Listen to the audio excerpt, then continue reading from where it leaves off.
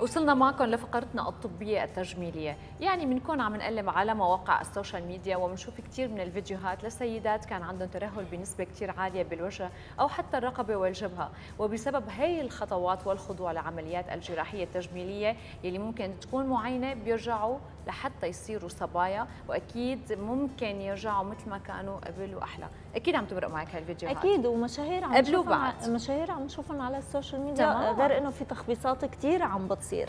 العلم أكيد توصل لحلول مرضية بس أوقات بيكون في تعديلات على الصور يلي بنشوفها يعني خلونا نكون منطقيين بتوقعاتنا وناخذ بعين الاعتبار إنه المبالغة بهالنوع من العمليات ممكن تسبب تشوهات. ومن فترة قصيرة شفنا هالشيء لهيك اليوم حنحكي تفاصيل أكثر عن عمليات شد الوجه مع ضيفنا الدكتور شادي رحمه اختصاصي بالجراحة التجميلية.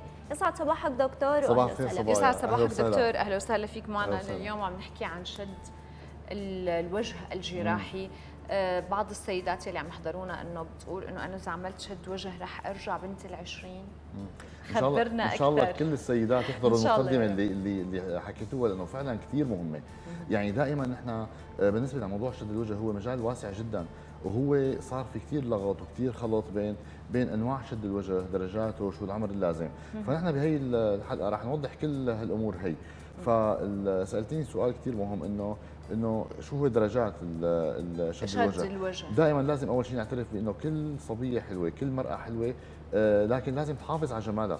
يعني نحن شد الوجه مهمتنا كجراحين تجميل إنه نرجع آه الجمال لما هو على طبيعته أو لما هو لأصله. ولكن لا نعمل شيء جديد ما نعمل شكل جديد ما نعمل تعابير جديدة. آه لذلك أفضل شيء إنه نراعي آه هالتكنيك هذا اللي بيحافظ على طبيعة الوجه. آه، فدائما نحن السن المناسب الحقيقة اللي بنبلش فيه شد الوجه بيختلف باختلاف الجينات باختلاف العوامل المحيطة بكل صبية. يعني أحيانا مثلا الأوروبيات اللي بيقعدوا على البحر أربع خمس ساعات كل يوم بتكون بشرتهم كثير رقيقة. وبالتالي بيكون شد الوجه بيصير عندهم بفترة أسرع. آه، طبعا آه، إذا كان النحفانة سمنانة إذا فقدت الوزن آه، مفاجئ بكميات كبيرة بيرهي الوجه بسرعة. لذلك خلينا نقول إنه المعدل الطبيعي أو العمر الطبيعي هو الليت 40 يعني بأواخر الأربعينات تقريبا. لسبب إنه بهالعمر هذا لاخر ال 40 لحتى تبلش. طب إذا في عندها بوقت مبكر ترهل لأحد الأسباب اللي حضرتك ذكرتها. تماما. ما في مانع يعني ما في نحن عندنا سن محدد أو عمر محدد وإنما هي بتقيم حالها. يعني أحيانا إذا ناقص وزنها 50 كيلو لو لو عمرها 30 سنة ممكن بتلاقي تعملها. أول شيء لازم تعمله الخدود ودغري تماما. تماما تماما. أحيانا في ناس بيكون عندهم اللغلوغ أو الدم مضاعفه كمان هي لازم تعملها بسن مبكرة. الحقيقة بأواخر الأربعينات الأفضل ليش؟ في فكرة شائعة بالمجتمع إنه اللي بتعمل شد وجه هي الختيارة أو هي الكبيرة بالعمر لا آه لازم ينعمل بأواخر الأربعينات لسبب معين إنه أول شيء لسببين الحقيقة. أول شيء ديمومته بتكون أكبر. يعني نحن بس نعمل العملية بسن ال 60 أو ال 70 آه الديمومة تبع العملية خمس ست سنين. لكن إذا انعملت بأواخر الأربعينات بتضل 15 سنة. أوكي. آه بالإضافة إنه نرجع لطبيعة الشكل الطبيعي بيكون أسهل علينا كجراحين بس يكون بأواخر الأربعينات من إنه تكون بأواخر السبعينات لأنه أواخر السبعينات بدنا نشد الوجه بدها ترجع 20 سنة لورا فالمجتمع ما راح يتقبلها أو هي ما راح تقبل حالها. فمعنويا أفضل. بس شفنا عم عم نشوف صبايا عم تعمل هي العملية. أنا صرت ملتقية بأكثر من صبية عمرهم صغير وعاملين هي العملية. ممكن لقدام يرجعوا يحتاجوا يعملوها وبتصير. ممكن نرجع نعمل العملية مرة ثانية لا هو الصبايا أحيانا بيعملوا شيء اسمه mini lifting أو ما يعرف بالعامية شيء بيقولوا قطبتين يعني راحت عملت قطبتين طبعا. هي درجات العملية. هي تعابير تعابير القطبتين هذا ما ما مضبوط هو mini lifting أو أو أو neck lifting يعني بس بنعمل جرح بسيط اللي هو آه، من نهاية السوالف ل آه، لعند الإذن لعند بداية الإذن. فهي تقريبا يعني أربع خمس قطع بتطلع لكن هي بتعمل هي ال mini lifting اللي بيعملوها عند الصبايا بأواخر العشرينات بأوائل الثلاثينات اللي هي بتعالج أكثر شيء آه، نور الخطوط النازوليبيال اللي هي بتشده بهالشكل هذا. الحقيقة بأعمار ثانية آه، ما عدنا نعمل شد الوجه اللي كانوا يعملوه سابقا اللي هو شد الوجه الأفقي فقط. لأنه إذا انعمل شد الوجه الأفقي فقط اللي هو بس على الجلد هذا بيعطي الوجه الصمل أو الوجه البارد تعبيريا خلينا نقول. البلوك بصير لذلك تمام. لذلك بعد 15 سنة من الشغل الحقيقة كل جراح بيمر بمراحل متعددة أو بيوقع مثل ما بيقولوا دائما الجراحة التجميلية فيها هي مطبات.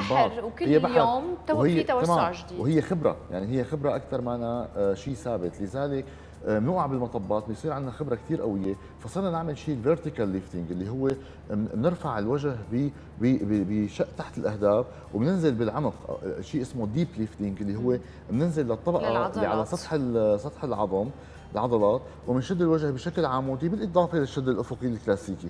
فهون نحن أول شيء بنخلق كراسي الخدود أو بنرجع بنعيد تشكيل كراسي الخدود اللي اللي كانت موجودة سابقا بالإضافة إنه نعالج النازوليبيال فهو نحن مثل ما بيقولوا بنضرب عدة عصافير بنفس بالحجر الواحد, الواحد. يعني بإيد الجراح الوحده تماما.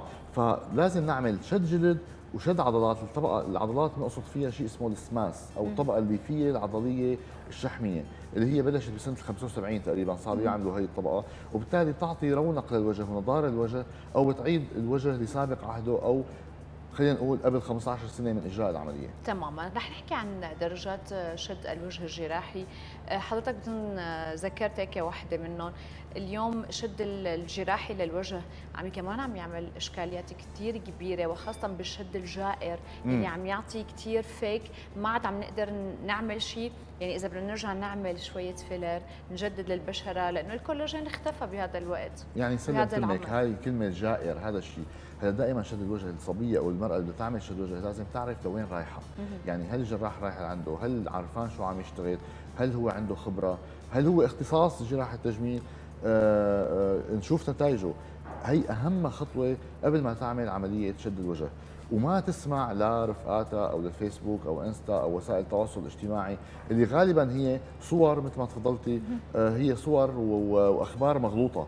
يعني بيعملوا فلتر معين إنه فات جلسة واحدة قام حب الشباب كلياته أشد الوجه يعني كلها المفروض الانسان يكون منطقي.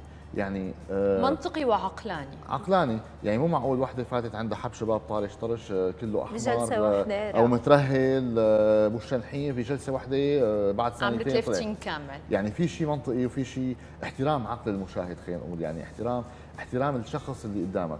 فدائما لازم تكون واعية. ولازم آه، تقعد مع جراحة عدد جلسات وتعرف هي شو بدها بالضبط. يعني ممكن يكون مثلا بأوائل الثلاثينات بدها بس فقط mini lifting خلينا نحكي شوي عن درجات شد الوجه.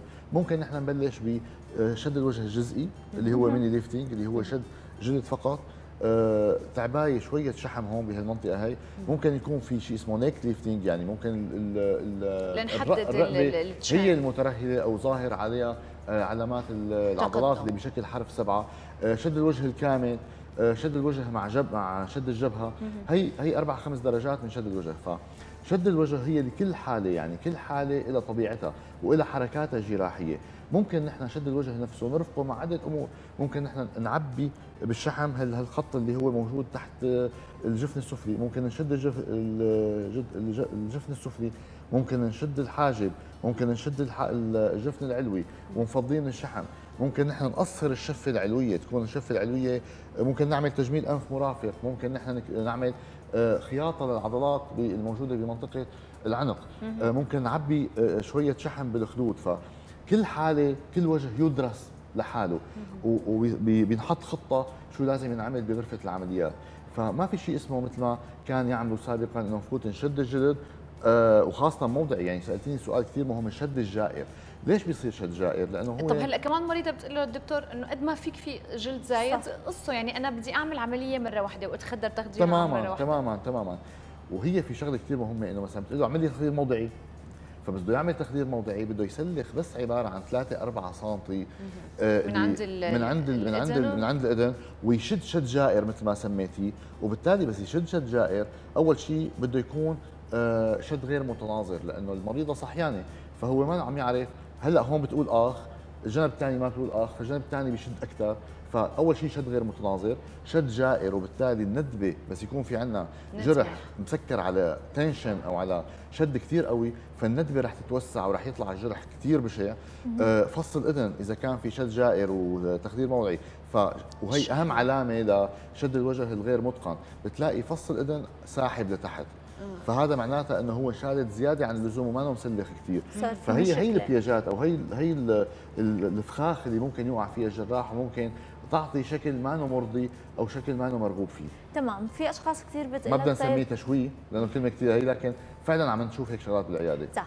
في أشخاص بتقول لك طيب أنا عندي مشكلة عندي لغلوغ بدي أشتغل برقبتي بس ما بدي اشد وجهي. فينا نعمل هذا الكلام وفي كثير صبايا عم تروح على الأجهزة أكثر بتقول لك أنا بالجهاز ممكن يروح ويختفي اللغلوغ بلا آه، آه، شق جراحي. طيب سؤالك ذو شقين أول شق اللي هو اللغلوغ الدقن المضاعفه ممكن نعملها لحالها إذا كان بس اللغلوغ عبارة عن شحم.